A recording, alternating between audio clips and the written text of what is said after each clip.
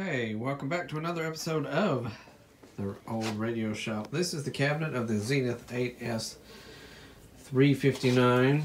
And you see I've got quite a bit of cabinet work to do because there is totally no finish left on this side of the cabinet. And then over here, I've got a big chunk of veneer missing, so I'm going to I don't know if this is a burl walnut, a burl mahogany. It doesn't quite look red enough for mahogany, but it may be. It's a pretty thin veneer. Pretty thin. I'm going to have to replace some here and some around this side. And I um, don't know if I'm going to replace this whole side up to here where it makes the thing. I know this is a bookmark matched or if I'm going to end up replacing the whole thing around the corner. I really don't want to have to, but if in order to make it look fine, I may end up doing that. I'm also missing some of this, I call it tiger stripe ish veneer here and here, and I can probably fill that in. Missing dirty, missing lots of finish there. I do have, looks like the grill cloth got wet at some point in time, I may just leave that alone because you know if you try to wash it, it's going to if you try to wash it, it's going to fall apart. And I don't know if I can actually find this grill cloth anymore. This Zenith weave. I think I can. I'll look online. I'll see. I may just leave that alone. Dirty spider webs, cobwebs. That's what basements are good for. Spider webs. Continue on the 8S359. I did get my veneer in, so I'm in the process of removing the crappy veneer from this one side. I'm going to leave the veneer alone on the other side because it is intact, okay. So I can do a complete refinish of this cabinet. There's some places here and there. There's a little patch I need to do here. And I'm having, I got most of this off with the heat gun and one pretty big strip. But I'm having a little bit of trouble with it right here. And right here. And I'll have to take this wooden piece off if I can figure out exactly how it's nailed upon. I don't know if it's one thing nailed on or three things nailed on. I'm going to have to figure that out so that I can lay my new veneer out so I don't have to cut weird, weird spooky things and I don't want to mess my veneer up over here if I over here if I can help it at all.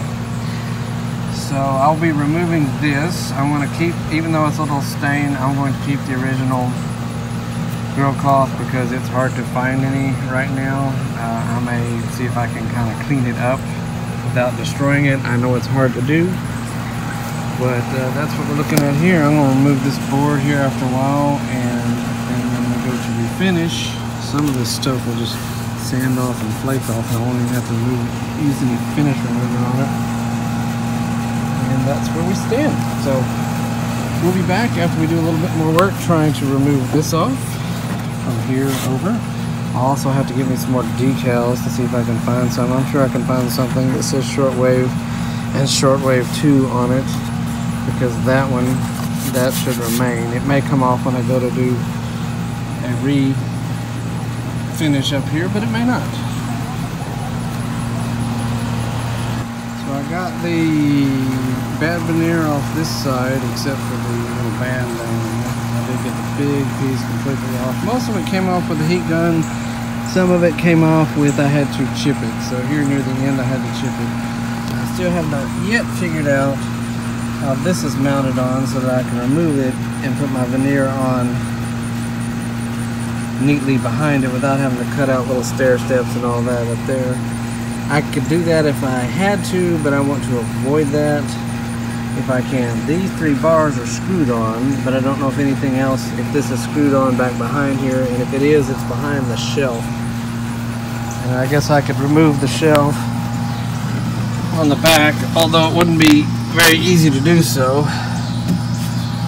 Looks like there's some screws here and there. I could remove the shelf and see see what's behind it, so we may just do that. Uh, but that's where we are right now. While I was at it, the the uh, finish on the top was so worn that I was able to just peel it off basically with a paint scraper just by scraping across it and it just flew into dust. So all of that has been removed so so far in the dust without having to do any type of chemical stripper. It just came right off. As you can see, the side here is kind of the same way. So we're going to continue working on it. As soon as we figure out how to get that off, we will be putting our new veneer on. And we'll see you later on. I figured something out with the Zenith, and that is the top of the cabinet will separate from the bottom of the cabinet. So it allowed me to get behind that trim piece, which stayed with the bottom of the cabinet. Lucky, lucky me. Getting ready to put on a piece of veneer over here and under here and under here. It's going to be fun. I'm not going to try to do it on camera because it will be a mess. There it is. Is. And I'll show you the results when we're done. So stick around, stay tuned. I'll have to get all the rest of this off. This is the veneer staying, but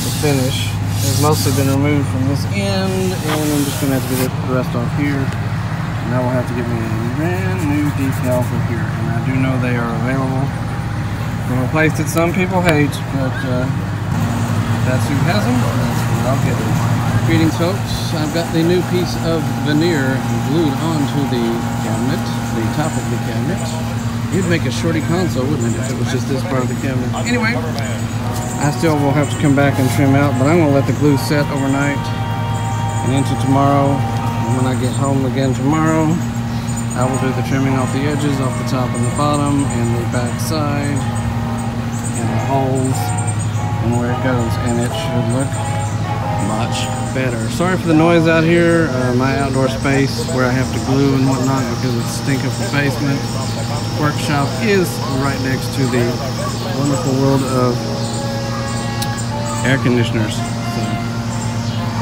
that's what we got going on here. So I have glued it down, uh, going to let the glue set, and we'll see you next time from this portion of Old Radio Shop to take a look at the veneer after I've trimmed it before I get ready to prepare it to color.